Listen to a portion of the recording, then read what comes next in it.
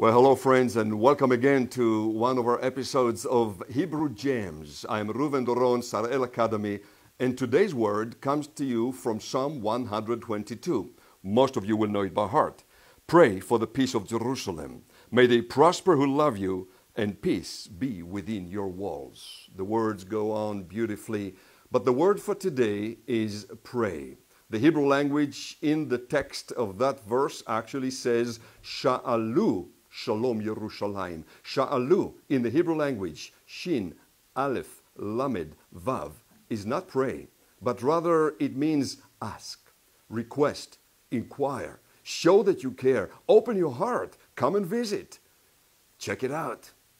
Sha'alu Shalom Yerushalayim. Inquire about the peace of Jerusalem. How about you becoming a friend? We'd love that. And this is your Hebrew gem for today from Sar-El Academy. Watch out for the next episode.